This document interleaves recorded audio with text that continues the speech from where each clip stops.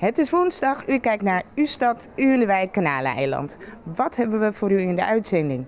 Nou, ik sta hier in de bibliotheek van Kanaleiland en het is de week van de alfabetisering. En uiteraard ga ik daar even een kijkje nemen.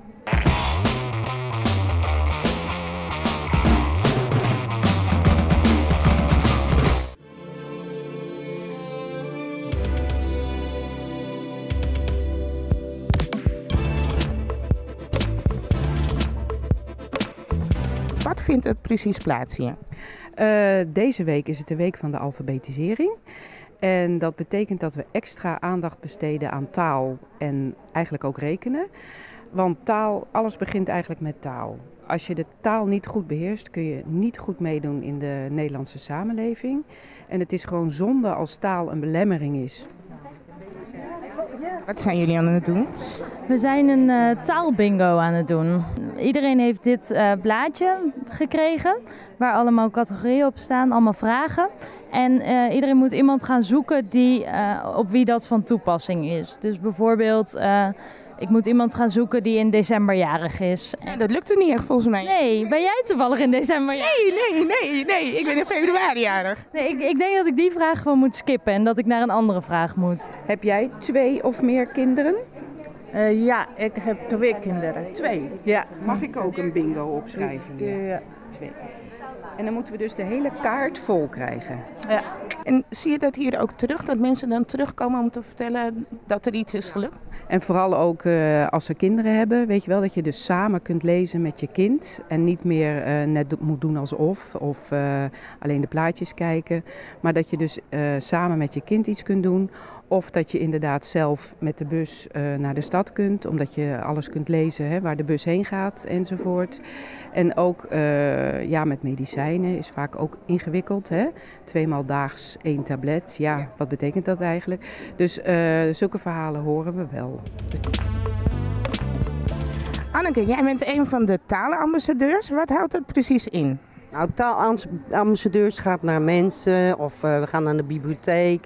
We testen dingen, we proberen mensen te, uh, te motiveren om naar school toe te gaan. Ik had zelf ook uh, problemen met leren, dus...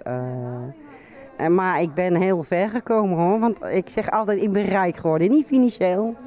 Maar het heeft me rijk gemaakt. Want het is niet alleen rekenen, taal en lezen.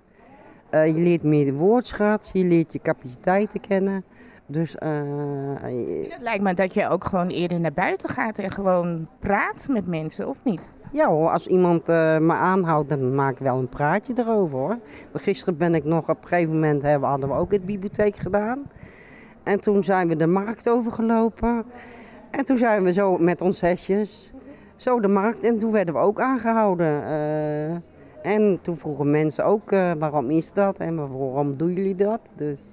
Heerst er veel laaggeletterdheid in Nederland? Ik ken de cijfer, in Utrecht gaat het om iets van 30.000 eh, mensen.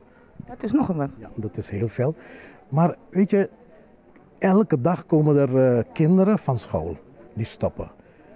Elke dag komen vluchtelingen bij, migranten. Maar in wijken, buurten wonen ook heel veel autochtone Nederlanders. En dat noemen we in vakjargon NT1. Nederlanders die Nederlands als eerste taal hebben. En als zij inderdaad eerder van school waren en het, het moment dat je weinig met taal doet, dus niet schrijft, niet rekent, heb je een probleem. En laten we eerlijk zijn, ieder jaar horen wij weer dat zowel op MBO als HBO heel veel studenten, HBO'ers, ook niet goed kunnen rekenen. Dus dit speelt al jaren. Het gaat erom van als mensen daar last van krijgen en wij als samenleving zien van hé, hey, dit kan toch niet dat je een brief krijgt van de woningbouw en dat je inderdaad toch via allerlei manieren digitale in moet gaan om bij te benen. Dan moet er toch serieus werk van maken. Ik zou tegen alle kanaleilanders en transwijkers willen zeggen: uh, wil je uh, je taal verbeteren, wil je het leren, rekenen, kan ook. Kom naar de BIEB op woensdagochtend van 10 uur tot 12 uur. Dan uh, zijn er allemaal mensen speciaal voor jullie. Uh, we helpen, het is gezellig, je krijgt een kop koffie. En ehm, eigenlijk kan iedereen het leren.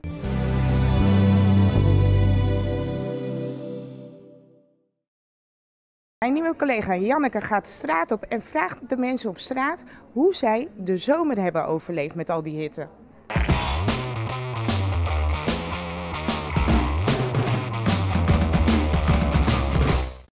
Ja, we zijn hier in Kanaaleiland met u in de wijk. En eh, het ziet er misschien niet zo naar uit, maar het is super benauwd. 25 graden.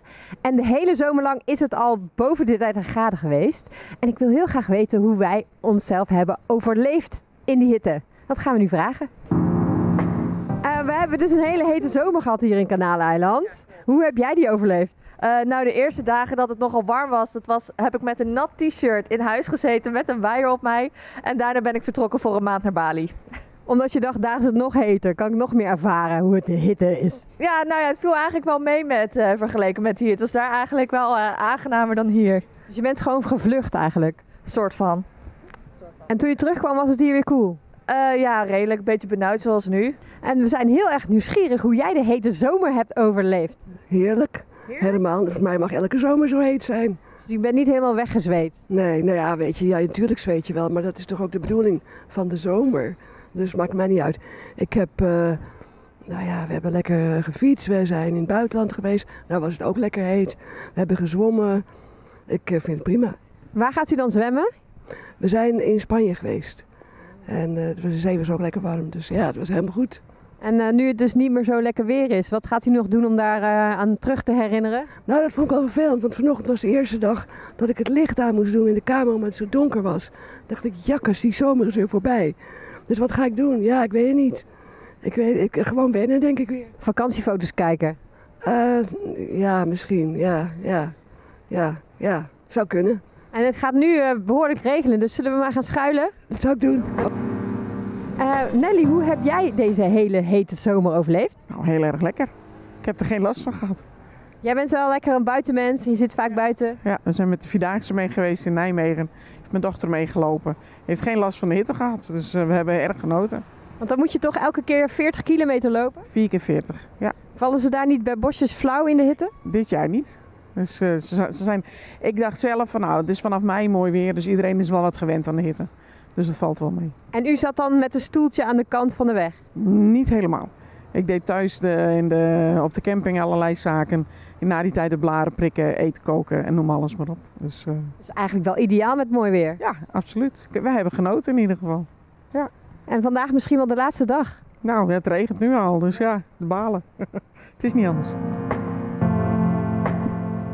Ik sta hier met Christian. Hi. Hi, hey. En uh, ik ben heel benieuwd hoe jouw vakantie is geweest. Lekker mooi. Het was uh, echt mooi weer. Deze jaren echt warm. Te veel warm, een beetje. Maar uh, ja, ik was ons zwembad en ja, ik vind het leuk met het kindje ook. goede tijd. En, Want hoe oud is je, je kindje? Vier jaar. Vier jaar, Vier jaar ja. ja. mooi. Ja, het was een mooie tijd. Maar was het niet te heet dan voor jullie? Uh, nee, nee, nee. En hoe lang woon je al in Kanaaleiland? Kanaal, vanaf drie jaar. Heb je nog tips om uh, volgend jaar de hete zomer te overleven? Ja, gewoon, gewoon doen, meer niet. Gewoon blijven ademen en lekker genieten. En, en heel veel kilometers wandelen. Ja, ja, dat is het mooiste. Allemaal naar Bali of met een nat t-shirt in huis gaan zitten met een waaier op je.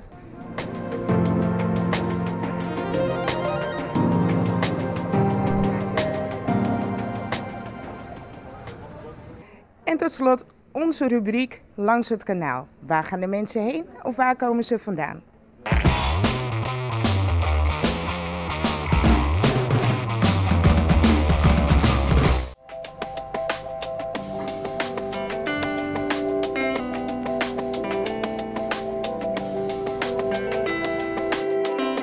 Ik zag jou, uh, je zou touwtjes springen. Uh, ben je voor iets aan het trainen?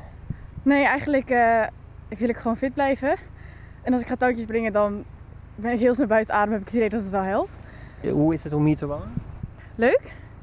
Ik woon met twee vriendinnen en uh, ja, we hebben het super gezellig en we hebben een super mooi huisje. En we hebben zo'n uitzicht voor de deur. Dit wordt allemaal beter. Want weet je bijvoorbeeld wat er hierachter uh, gebouwd wordt? Ja, er wordt een restaurantje. What do you think of this here? Oh, I love the city. That's why I moved here. I'm from South Africa. Uh, and I was living in England for two years. And then I came on holiday here last year for like a week. And I was here for an hour and I was like, I want to move here. So it's like a lot of culture here and a lot of differences, which I like. Uh, It's just beautiful. Yeah, the people are beautiful. Komt u hier vaker? Ja, ja, ik woon hier in Kanaleiland. En ik fiets hier bijna elke dag langs het treinkanaal. Heerlijk. Wat vindt u er zo fijn aan? Gewoon eh, water, langs het water. En geen verkeer. Waar ben je naar weg? Naar mijn werk. Naar je werk. En wat doe je? Uh, momenteel bij Hanos. Orde pikken. Oké. Okay. Horeca, groothandel is dat. Ah, oké. Okay. En, en, wat doen zij bijvoorbeeld? Uh, nou, ze leveren voornamelijk aan horecabedrijven. En kom je ook uit deze wijk? Ja, hier in uh, Knaleneiland. En uh, ja, er zijn hier heel wat dingen gaande. Er is daar bijvoorbeeld zijn ze bezig met een nieuwe horecagelegenheid. Wist je dat al bijvoorbeeld? Nee, van die horecagelegenheid niet, nee. Okay. Maar wel dat hier veel uh, gebouwd en verbouwd wordt.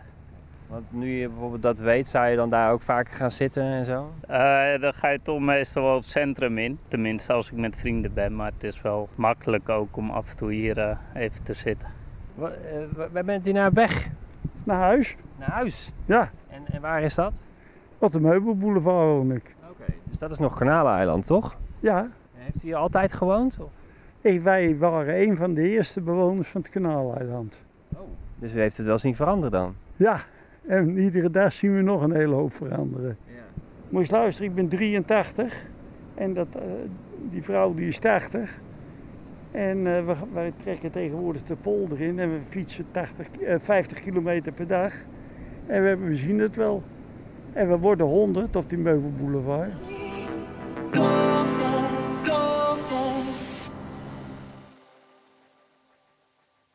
Nou, de uitzending zit er alweer op. Ik hoop dat u heeft genoten. Wij in ieder geval wel. En heeft u nog tips of informatie?